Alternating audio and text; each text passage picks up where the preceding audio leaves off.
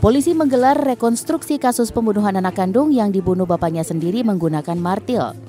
Rekonstruksi dilakukan di rumah korban dan pelaku di Desa Temboro, Kecamatan Karas, Kabupaten Magetan, Rabu siang. Sebanyak 16 adegan diperagakan dalam rekonstruksi, mulai dari pelaku Ahmad Kohir mengantar adik korban ke sekolah, pertengkaran mulut bapak dan anak, hingga akhirnya pelaku mengambil martil untuk membunuh korban Abdul Aziz di kamarnya. Menurut Kapolres Magetan, AKBP Muslimin motif pelaku membunuh anaknya sendiri lantaran jengkel pada korban yang sering mengamuk dan meminta uang ke keluarganya.